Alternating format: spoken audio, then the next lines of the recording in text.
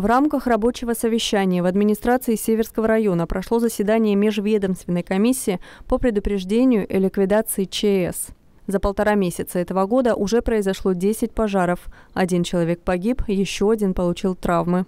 Основная причина возгораний – пренебрежение правилами пожарной безопасности со стороны граждан и ненадлежащее выполнение администрациями поселений полномочий по обеспечению первичных мер пожарной безопасности.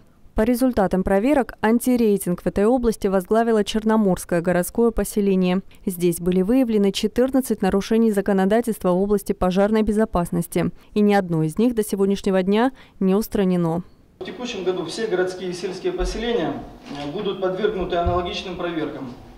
Также хочется добавить, что в связи с изменениями в КОАП РФ нарушение влечет за собой наказание в соответствии с уголовным или административным кодексом, в зависимости от тяжести наступивших последствий.